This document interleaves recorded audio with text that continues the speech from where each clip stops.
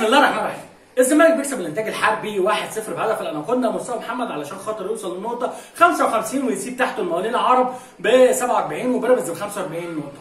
بص يا معلم بصراحة أنا بيعجبني جدا باتريس كارتيرون في إدارته المرحله الحالية اللي فيها نادي الزمالك والمرحلة الحالية من الدوري المصري. راجل بنسبة كبيرة جدا. خلاص الدوري خلص والدوري خسر سواء الأهلي كسب بكرة أو سواء الزمالك خسر النهارده. أهم حاجة بالنسبة لباتريس كارتيرون إن هو يحفظ اللعيبة بتاعته لمواجهة الرجاء في نص نهائي دوري أبطال أفريقيا. الراجل عارف كويس قوي إن خلاص الدوري خلص. يبقى أعمل إيه بقى؟ أجرب. كسبت لعيب خير وبركة.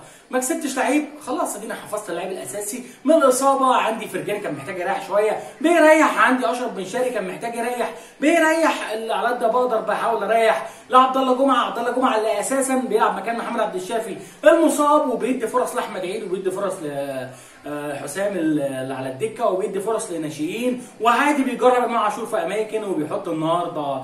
بيحط النهارده اسلام جابر باك شمال والراجل بيجرب وبيعمل شغل كتير جدا. مش مطلوب ان هو يعمل أداء كويس عادي لأن هو بيجرب في أماكن لعيبة أول مرة تلعب في الأماكن اللي هي بتحط فيها. يعني الماتش اللي فات مثلا كان حاطط إمام عاشور باك يمين. النهارده كان حاطه ارتكاز تاني جنب طارق حامد وبرده الراجل عمل أداء كويس وأداء جيد. وأحمد سيد زيزو النهارده كان صانع ألعاب. مصطفى فتحي طرف يمين آه ونجم طرف شمال. الراجل بيجرب وبيحاول يعمل حاجات جديدة.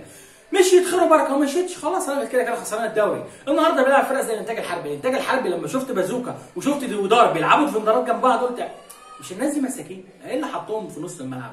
قلت خلاص كابتن مختار مفترض إن هو بيطير بيطير الاثنين أطراف اللي قدام علشان خاطر حاطط تحتيهم اثنين ما بيزيدوش خالص زي ديودار وزي بازوكا.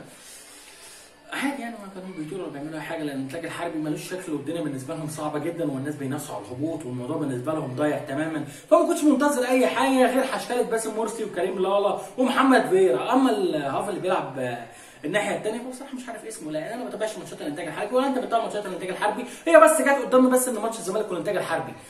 الزمالك بيعمل أداء كويس والزمالك بيقدر إن هو يطلع شوط أول. ما كانش فيه فرص وكان فيه شوية لخبطة وكان فيه شوية أزمات. بس عادي يا عم أنا قلت لك من البداية ما بيدورش على إن هو يعمل أداء بيدور على يعمل rotation وبيدور إن هو يحفظ اللعيبة وعلى الأقل ممكن يكسب لاعب أو اثنين في المرحلة اللي إحنا فيها. وفعلا كسب إمام عاشور كلاعب. جوكر ممكن تلاقيه في أي مكان. وإسلام جابر طبعا الراجل بيعامله معامله الجوكر من أول ماتش لعبه فيه. فالراجل بيحاول يعمل كل حاجة يقدر عليها علشان خاطر يخلص أم الدوري ده على خير ويلم بقى الموضوع علشان خاطر. اللعيبه خلاص ما بقتش قادرة تكمل والموضوع مرهق جدا بدنيا بالنسبة لها. فاديهم بيحاولوا يخلصوا الموسم على خير. أقول لك بقى إن كابتن مبدع وامتاع وإبداع وخطط تكتيكية وعبقرية. لا هبقى نصاب عليك. يعني الزمالك بيكسب ماتشات كتير قوي بضربات ثابتة علشان خاطر الزمالك عنده مشاكل كتير قوي في الملعب بتاعه في رسم التكتيكي في تحركات اللعيبة في الهجوم قدام فرق بتدافع في اللعب المفتوح. الزمالك عنده مشاكل كتير بس مش هنتكلم فيها هنتكلم في الدوري المصري أساسا. لو قعدت تتكلم في تكتيك هتلاقي إن أنت بتس... بتاخد قاعدة شاذة بعيد عن اللي اتكلموا بعدك في الكورة في مصر. ف... اتكلم عادي زي ما بيتكلموا لأن الكورة في مصر مفيش تكتيك أساسا مفيش مدربين كتير قوي. محنكة تكتيكيا ولا في مدربين عندهم واو اللعيبة اللي واقفة في الملعب صح واللعيبة اللي عندهم واجبات دفاعية واللعيبة اللي عندهم واجبات هجومية. بدليل مثلا إن الكورة العالية أكتر كور المدربين بيبقوا محتاجين يشتغلوا فيها. مع اللعيبة هي أكتر كور اللعيبة بتغلط فيها. ده معناه ولا أي حاجة.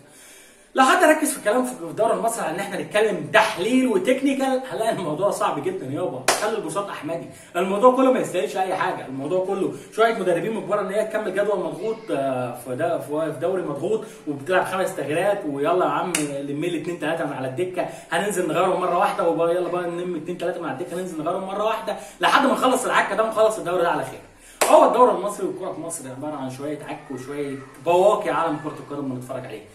الزمالك دي بيحاول ودي بي بيعمل تجارب جديدة ودي بيحاول يقدر يعمل أي حاجة في المرحلة اللي إحنا فيها نعدي المرحلة.